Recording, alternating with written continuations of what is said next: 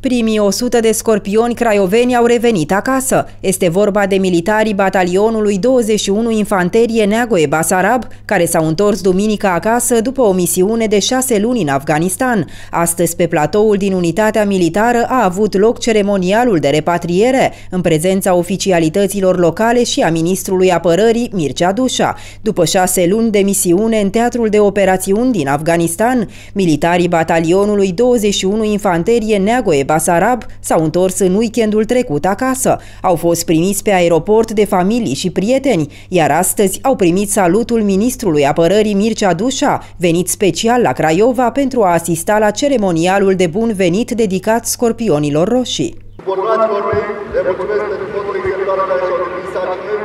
A fost onoare pentru mine să mă alături de voi. Împreună am demonstrat că armata română se poate baza oricând pe noi. Rezultatele excepționale obținute, recunoscute către toți aliații alături de care am lucrat, sunt dovada că efortul nostru a fost înstradat. Craioveni, din nou, și-au dovedit profesionalismul și-au îndeplinit misiunea la cotele cel mai înalte, de aceea au fost uh, pedaliați, știu că patru ofițeri au fost pedaliați de către conducerea ISAF, de către partenerii noștri americani, alți trei militari au fost citați pe ordine de zi.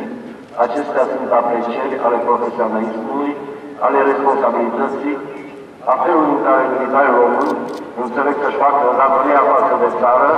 Încântat să particip alături de dumneavoastră la această ceremonie importantă și emoționantă. În același timp, organizată cu prilejul întoarcerii din misiunea desfășurată în Afganistan a militarilor care servesc patria sub însemnele onorante ale batalionului 26 Infanterie Neagoe Basarab.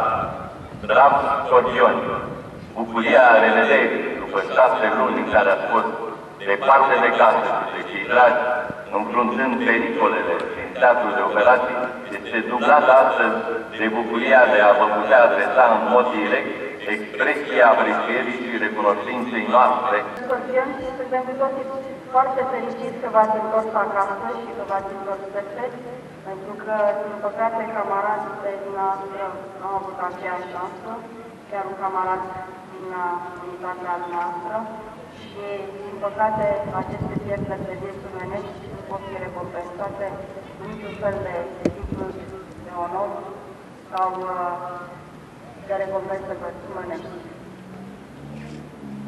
Noi suntem cu toții bucuroși că dumneavoastră v-ați întors sănătoși, am pregătit și o surpriză în parteneriat cu Ministerul Apărării Naționale, chiar și de această unitate pe care construiește un cartier nou de locuințe, Ceremonialul a continuat cu defilarea militarilor batalionului 21 Infanterie Neagoe Basarab, iar la final, militarii proaspăt întorși din misiune au fost felicitați personal, unul câte unul de ministrul apărării.